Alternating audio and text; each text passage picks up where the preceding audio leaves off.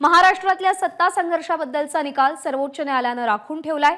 आणि या प्रकरणाची सुनावणी नबाम रेबिया प्रकरणानुसार होणार का?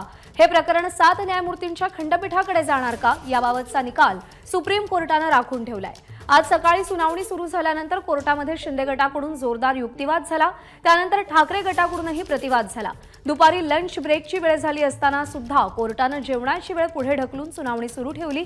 आणि अखेरीस जोरदार घमासान दावे प्रतिदावे ऐकत सुप्रीम कोर्टानं हा निकाल राखून ठेवलाय. पुढची तारीख मात्र कोर्टानं अजूनही जाहीर केलेली नाहीये. आणि सुप्रीम कोर्टामध्ये नेमकं काय झालं या संदर्भात ठाकरे गट आणि शिंदे गटाच्या काय प्रतिक्रिया आहेत आपण पाहूया. या गोष्टी आज कोर्टासमोर उघडकीस आल्या ज्यामध्ये की असं असं होणार आहे आम्हाला डिस्क्वालिफिके कारण त्यांनी केलेलं कृत्य त्यांना खात होतं. आणि याच्यावर डिस्क्वालिफिकेशनच लागू शकतं हे कोर्ट त्यांच्या वकिलांनी त्यांना सांगितलं असेल. तर मग त्याला आता उलटा गेम कसा करायचा? म्हणून त्यांनी त्या पद्धतीनं हे केलं की एकवीस तारखेलाच नोटीस बनवली की तुम्ही या नवम रेबिया कायद्याच्या याच्याप्रमाणे तुम्ही आता आतापासूनच पॅरलाइज होत आहे आणि हां. लोकांना असं वाटतं की तुम्हीच याचिका करते आहात आणि तुम्ही अशी मागणी करताय की सात न्यायमूर्तींच्या पीठाकडे हे प्रकरण जावं.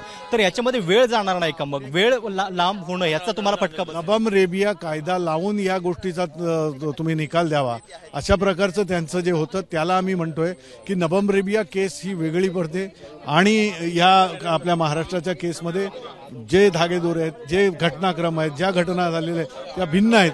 त्यामुळे सात जजच्या बेंचजवळ हे रिफर व्हावं.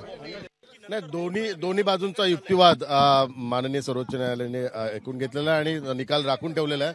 मुद्दा हा आहे की ज- सोळा जे आमदारांवर अपात्र करण्याची जे पिटिशन दाखल केलं आणि नोटीस इश्यू केली तर जे महाविकास आघाडी आहे तो महाविकास आघाडीचा जर आकडा बघ- बघितला तर त्यातून सोळा जर कमी झाले असते तरी महाविकास आघाडीकडे बहुमत होतं.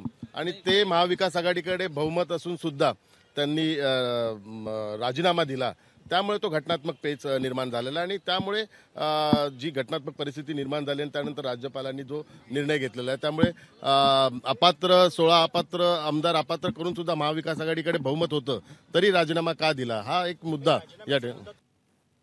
आणि सुप्रीम कोर्टातल्या सुनावणी संदर्भात ठाकरे गटाचे खासदार संजय राऊत यांनी काय म्हटलंय तेही पाहूया.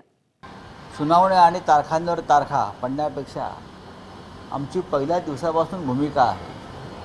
आणि जी शिवसेना पक्षप्रमुख उद्धव ठाकरे यांनी वारंवार मांडलेली आहे की कशाकरता ह्या तारखांचा आणि सुनावण्यांचा घोळ घालत बसायचं?